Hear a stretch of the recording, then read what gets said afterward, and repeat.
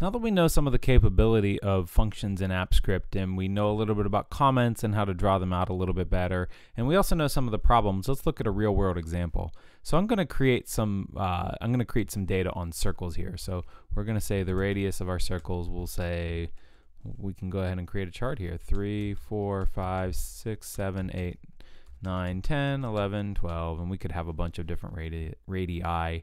Uh, we could also have a column for circumference and we could have a column for area. Uh, so we could actually build these out and we could do something interesting here. So I'm going to go into my script editor and we're going to start off by creating a file level comment. Let's go ahead and we'll start over from scratch. We're going to have no code in here. And I'm going to create a JSDoc comment that just says this file contains functions for computing geometric uh, area and circumference for circles.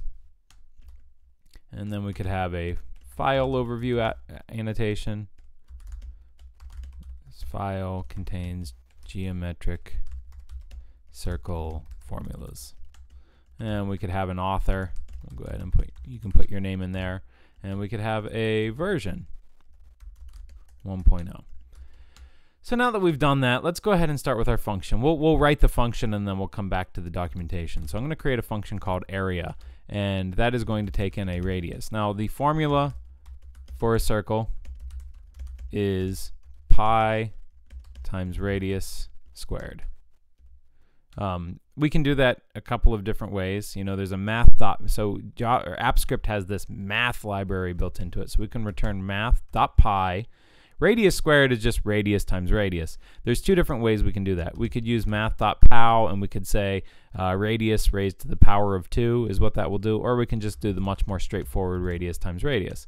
And this is going to give us an area now. Um, now, this is a pretty straightforward function, but it does perform some basic mathematical calculation. Let's go ahead and document it. And we will say this function returns the area for a circle with a particular radius. And we'll pass in, we'll use the parameter, we're going to make that a number, we're going to say its radius, the radius for this circle, and we will return a number, the area for this circle, and we will go ahead and put in a custom function tag or annotation here so we can identify that. Now we can come back to our spreadsheet. Let's go ahead and give this a name. We'll call this circle functions. And if we go back to our spreadsheet, we can use we can fill in the area. We'll just use area and we get that parameter. Pow. We get the area for this circle.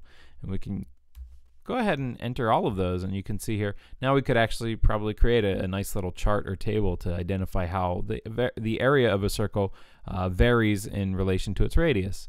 Um, so we've done that. Let's go ahead and create a, a circumference um, circumference function.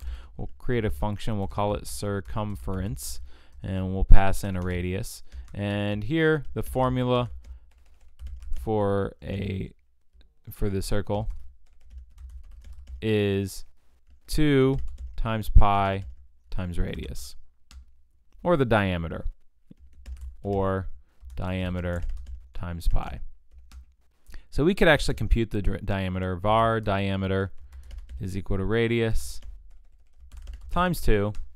Then we could return diameter times math.pi.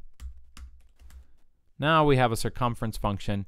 Uh, oh, we got we misspelled something here. We should make sure we correct that.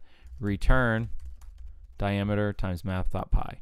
Now let's go ahead and document this. We'll say this function returns the circumference for a particular radius. And we will pass in a param here that's a number, radius, the radius for this circle, and we will identify that this is going to return a number. Let's go ahead and change that to number.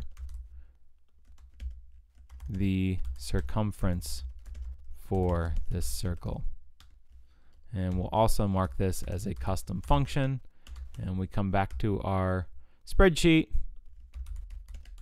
We'll give it a name and we'll fill in our circumference. So you can see now we're going to get that function and we can just pass that in. We can copy this all the way down using our little uh, little crosshairs icon, and now we fill in all those values. So we could actually just select all of this data now, insert a chart,